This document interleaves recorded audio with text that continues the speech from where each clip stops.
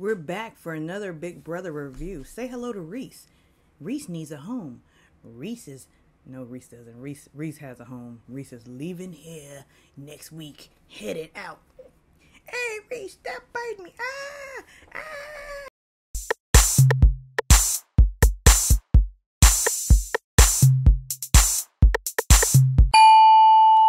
So, you know, we're back, and this week, everybody should know by now, but we're going to discuss it here on this channel who the HOH nominated for eviction.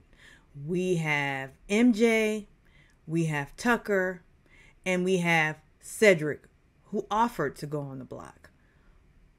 What's with these people? Crazy, insane. Insane? Crazy? Now, I know these aren't all super fans, but I'm assuming that before you agreed to go on the show, you at least watched a few seasons or got some background information on the show and how it works. And one of the first rules is don't nominate yourself to go up on the block. Don't just say, hey, put me on the block. That is the biggest risk there is. At first, you have one in two chances of going out, but now you have one in three chances. But still, don't offer yourself up. So watch what you say. Watch what the f- you say. Because that's just dumb. Because rule number one, even if you are offering yourself up as a pawn, pawns go home. Now, mind you, last week, um, Tucker, the pawn, did not go home. And now Tucker, what? Is a target. He has a big target on his back because Tucker, at least in my mind, he has proven himself to be a comp beast. And he's so cocky about it. I can beat you all. I'm gonna beat. I'm gonna win. I'm gonna win. I'm gonna crash you. You know, he's so cocky.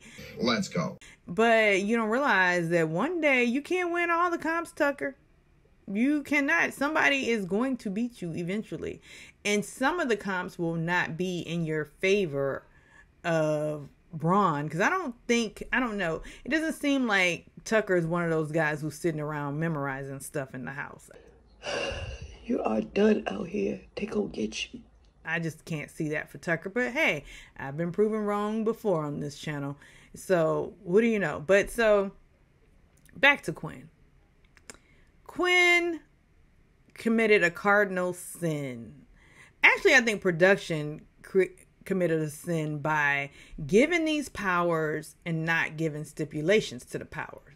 Rule number one should be You do not talk about Fight Club. you cannot tell anybody that you have a power because they have now ruined the week that could have been entertaining.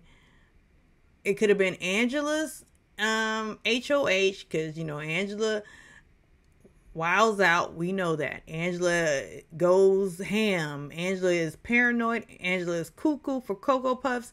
And so this could have been a fun week. Had we not known about Quinn, Quinn's power, Angela could have been doing her her HOH things and then uh, poof, here comes Quinn taking over her her HOH.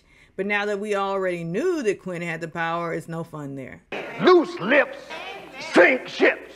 It's no fun. And so it just seems like this season is going downhill. Now, mind you, the games have been fun and cool. Twist on the regular games, you know, with this AI, AI Ainsley twist. It, they they've been a little bit better. However, it's still you haven't fooled me. These are still the same games with a so-called digital twist. I mean, they're analog in a digital world.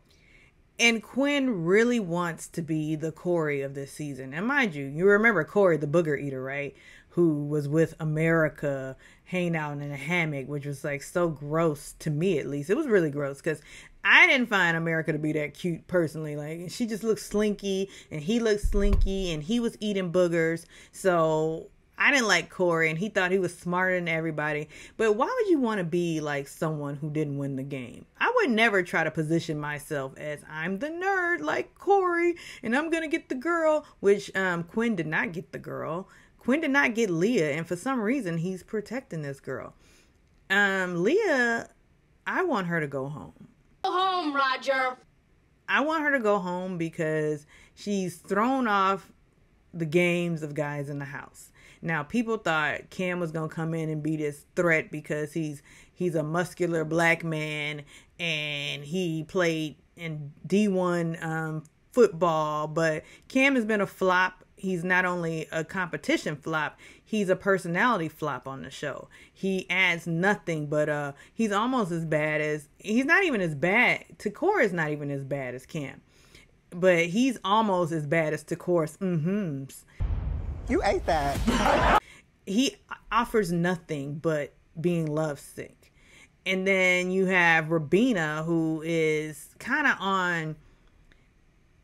She's kind of like a misfit on a misfit island with T'kor and Kimo, but she's in this like flirt mance with Tucker that's kind of gross. So, and Tucker doesn't fully trust her. So, what's really going on? Back it. Hey. But like back to T'kor and Kimo they keep making all these plans and never doing anything, sitting in their little circle, their little circle playing Tweely Lee and Patty Cake, talking and you know, like just like good Judy's, but never acting on anything. They have all the strategies, but never doing anything. So this season is just kind of, I don't know. I'm just not really interested in watching the feeds because one, they're boring because they you know shut down Angela and her antics because of you people out there who who just can't handle a little bit of um irreverence and and a little bit of contention or people who don't think like you you get upset. So you call their bosses to get them fired. Oh hello? How rude. So it's just made for a season that's going kind of downhill on the feeds. And when they edit the shows, it just becomes very vanilla and toast. So anyhow, I guess I'm ranting today versus reviewing. Ain't nobody asked you nothing. you sound like you bourgeois anyway. But we have our nominees and we'll see who wins the POV competition. We'll see. Is it today or is it tomorrow? I always get them confused. But whenever the POV competition happens, I'll be sure to be back on here. I, oh, yeah. And as always, like and subscribe and comment. Drop it into the comments and tell me what you think.